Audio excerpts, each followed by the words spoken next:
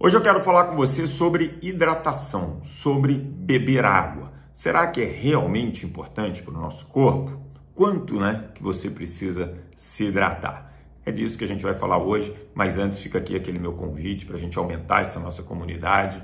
É, compartilhe esse vídeo, é, dê o seu joinha, se inscreva no canal, ative o sininho, porque toda segunda e quinta entra um vídeo inédito, sempre às sete e meia da manhã. Combinado? E aos sábados sempre tem a entrevista grande que eu faço ali de meia hora com algum especialista.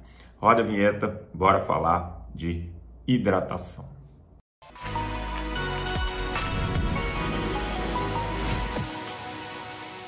A hidratação é super importante para a nossa saúde. Tanto que a Organização Mundial da Saúde ela tem quatro recomendações ali na alimentação. Uma delas é consuma sal e açúcar com moderação. A outra é consuma fibras, né?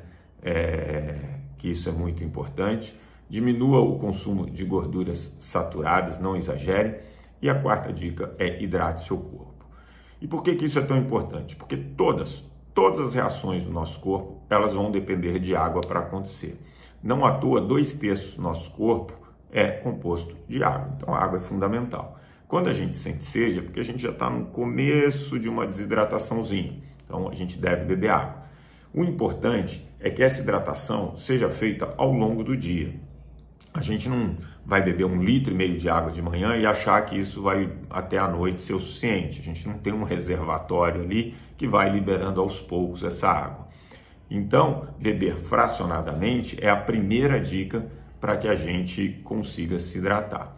Lógico, água é, tá ali, né? Tá lá prontinha para o nosso corpo absorver e realizar todas as reações que precisam ser feitas. Claro que, por exemplo, se você come uma melancia. Logo depois que você come a melancia, você tem sede? Não. Por quê? Porque mais de 90% da melancia é composta de água. Quando você consome um bolo de chocolate, dá aquela sede depois. Por quê? Porque o bolo de chocolate deve ter 15, 20% no máximo de água. Então, é importante também que a gente consiga, é, via outros alimentos, também se hidratar. Por isso que frutas é, também ajudam nesse processo de hidratação. Claro que você vai ter outras opções. Você tem algumas bebidas hidroeletrolíticas, que são água com sais minerais e vitaminas, também pode ser usado. É, enfim, o importante é que você se hidrate ao longo do dia e fracionadamente. Isso ajuda o seu corpo a funcionar de maneira melhor. E outra coisa importante em relação à hidratação é que não existe uma quantidade certa que você tem que beber. Então, tem alguns estudos que falam entre um litro e meio e dois litros de água ao longo do dia.